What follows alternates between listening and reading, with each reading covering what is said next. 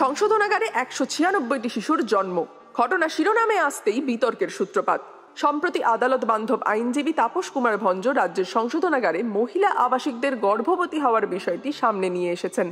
সরকারের দেওয়া তথ্য জনসমক্ষে আসতেই কোর্ট রুমে উৎকণ্ঠা।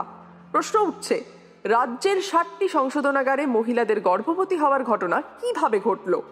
তড়িঘড়ি কারা দফতরের কাছে রিপোর্ট চেয়ে পাঠিয়েছে কলকাতা হাইকোর্ট। সরকারের দাবি সংশোধনাগারের ভেতরে গর্ভবতী হওয়ার কোনো ঘটনাই ঘটেনি।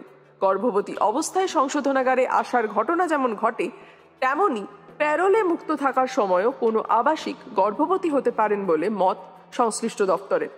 রাজ্যের সংশোধনাগারে আবাসিকদের, বিশেষ করে মহিলা আবাসিকদের নিরাপত্তা এবং নাগরিক অধিকার লঙ্ঘন নিয়ে অতীতে একাধিকবার একাধিক অভিযোগ সামনে এসেছে। স্বাস্থ্য পরিষেবা না পাওয়া কর্তৃপক্ষ এবং সাজাপ্রাপ্ত আসামিদের অভব্য আচরণ, হেনস্থা, নিগ্রহের ঘটনা সরব হয়েছে নাগরিক সমাজ। নিজের অভিজ্ঞতার কথা জানাতে গিয়ে বিভীষিকার কথাও সামনে এনেছেন অনেকে। আনন্দবাজার অনলাইনেই যেমন এক রাজনৈতিক বন্দী আলিপুর মহিলা সংশোধনাগারে কাটানো তার অভিজ্ঞতার কথা জানিয়েছেন। যে ঘটনা নিয়ে অ্যাকচুয়ালি আপনার কাছে আসা, আপনার অভিজ্ঞতা জানতে চাওয়া, সেটা হচ্ছে যে এই যে একটা যৌন নির্যাতনের ঘটনা সামনে আসছে। আপনি একটা সময়, প্রায় চার পাঁচ দিনের সময় সেখানে ছিলেন। সেখানে কি দেখলেন?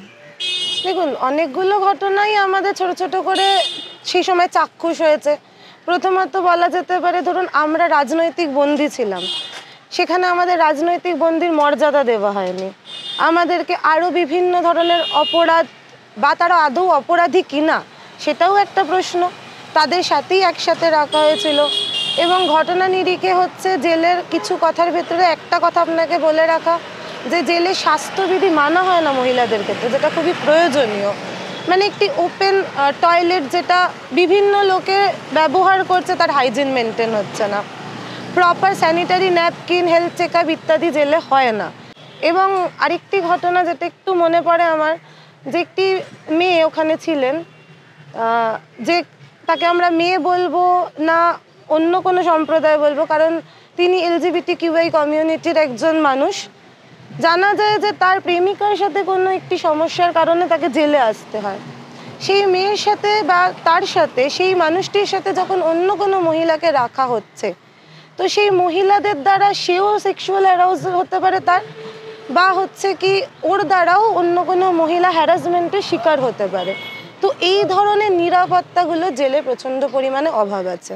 আচ্ছা আরেকটা জিনিস যে আমরা এই খবরের সঙ্গে সঙ্গে জানতে পারছি যে আচ্ছা এই সংশোধনাগারে বাইরে থেকে যদি কেউ যেত তাহলে তার যে প্রবেশ মানে পুরুষ কি প্রবেশ করতে পারতো এই জেলে? বা পুরুষ নিরাপত্তা কর্মীরাই তো ওখানে ঢুকতেন।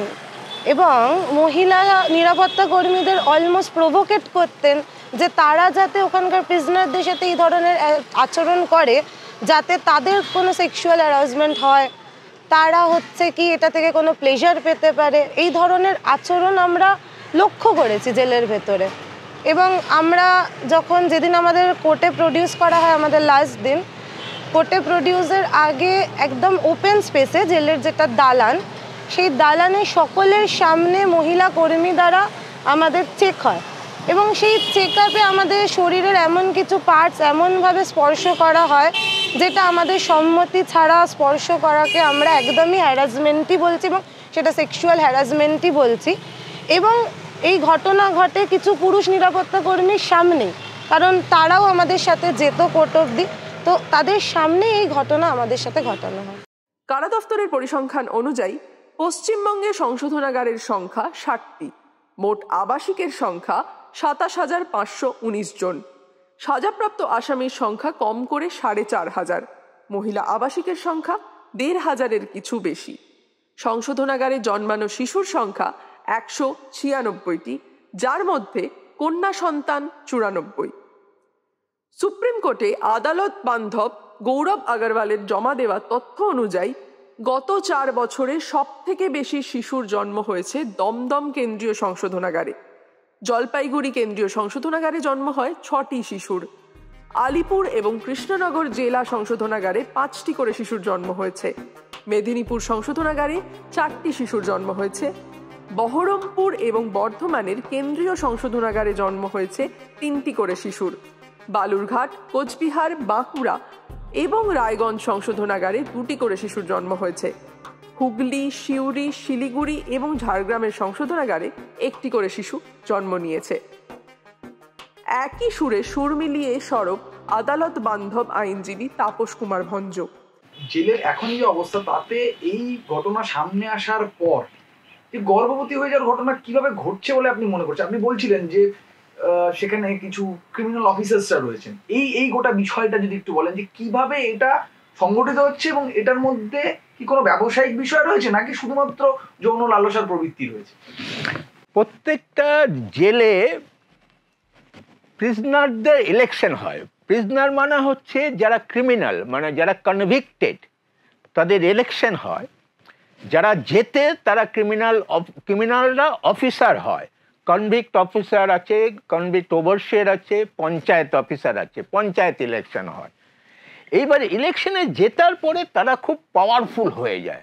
কারণ সমস্ত দায়িত্ব তারাই। মানে পুরো অ্যাডমিনিস্ট্রেশনটা ওরা সুপারভাইজ করে। এবার যখন বললাম প্রত্যেক দিন জেলে নিউ কামাররা আসছে, পুরুষও আসছে, মহিলাও আসছে, এরাই রিসিভ করে।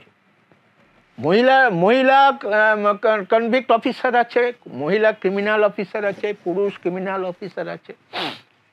এইবার এদের এদের এদের যে এক- একটা সেলে রাখা হয়, সেই সেলটার নাম হয় আমদানি সেল। মানে ওই আমদানি সেলে এরা বুঝে যাবে কে বড়লোক ক্রিমিনাল প্রিজনার আর হচ্ছে কে গরিব প্রিজনার এবার যারা গরিব, বড়লোক প্রিজনার তাদেরকে খুশি করতে হবে। এবং খুশি করবার জন্য তারা প্রচুর পয়সা দেয়। যারা বড়লোক প্রিজনার তারা প্রচুর পয়সা দেয়। তাদের, তাদেরকে যদি খুশি করতে পারে। তো তাদের যা যা চাহিদা, সে মদও হতে পারে, গাঁজা চড়ো যত কিছু। ঠিক আছে না? এবার যদি মহিলাও যদি সাপ্লাই করার প্রয়োজন হয়, সেটা ওরাই করে। এটা অ্যাডমিনিস্ট্রেশন রাত্রে জেলে ঢোকে না। যার ফলে অ্যাডমিনিস্ট্রেশনের উপরে যারা আছে, তারা জানতে পারে না। যত এই সমস্ত মানে কাজগুলো হয়, সব রাত্রেই হয়। আফটার লক আপ হয়। ভিতরে যেটা হচ্ছে, সেটা তো হচ্ছে যে সবাই তো খুব স্মার্ট হয় না, মহিলারা। যারা একটু আনস্মার্ট মানে যারা হচ্ছে who are not aware of their rights তাদের রাইট সম্বন্ধে যারা জানে না, তাদের কি কি রাইটস আছে, তো তাদেরকে সহজেই আর কি পেয়ে যায়, এই পাওয়ারফুল ক্রিমিনালরা পুরুষদের ইয়ে চাহিদা মেটাবার জন্য। আমরা জানি যে সংশোধনের ক্ষেত্রে একাধিক জায়গায় সার্চ টাওয়ার থাকছে সিসিটিভি ফুটেজ থাকছে। তারপরেও এই ধরনের ঘটনা কীভাবে ঘটে থাকতে পারে বলে আপনার মনে হচ্ছে? সিসিটিভি তো জাস্ট কিছু জায়গায় আছে। পুরো জেলে নেই। ভারতবর্ষে কি এরকম কোন আইন রয়েছে যে শিক্ষা স্বাস্থ্য এবং বাকি সমস্ত কিছুর সঙ্গে আমার জৈবিক চাহিদা পূর্ণ করার জন্য রাষ্ট্র আমাকে ব্যবস্থা করে দেবে? সেটা এখনও আইন হয়নি। তো আমাদের দেশে বেআইনি কাজটা বেশি হয়। ঠিক আছে? আইন যখন হয়নি, তার মানে এই চাহিদাগুলো পূর্ণ করতে গেলে বেআইনি কায়দা নিতে হবে। ঠিক আছে না? তো সেরকম বেআইনি ভাবে ওরা পেয়ে যাচ্ছে সব। ওদের চাহিদা পূর্ণ করবার জন্য। যার ফলে কি হচ্ছে এখন এই যে এত প্রেগনেন্ট হয়ে পড়ছে সব। মডেল প্রিজন ম্যানুয়াল যেটা মানতে বলেছে মাস্ট কম্পালসারি আমাদের রাজ্যে মানা হয় না। নেলসন ম্যান্ডেলার রুল নেলসন ম্যান্ডেলা সেই আমাদের সাউথ আফ্রিকায় যে সাতাশ বছর জেলের ভিতরে ছিল, জেলের বাইরে এসে সে আইন তৈরি সে রাষ্ট্রপতিও হলো সেই দেশের, হয়ে আইন তৈরি করল।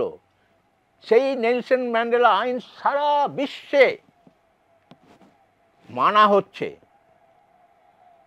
আমাদের দেশে অন্যান্য রাজ্যে মানা হচ্ছে, কিন্তু এই রাজ্যে মানা হচ্ছে না নেলসন ম্যান্ডেলা রুল এখানে এখানে গভর্নমেন্ট আইন মানতে চায় না। আইন মানতে চায় না কোর্ট অর্ডার দিচ্ছে অর্ডার মানছে না। এই যে মামলায় আমি আছি আর কি, এখানে অনেক অর্ডার দেওয়া হয়েছে।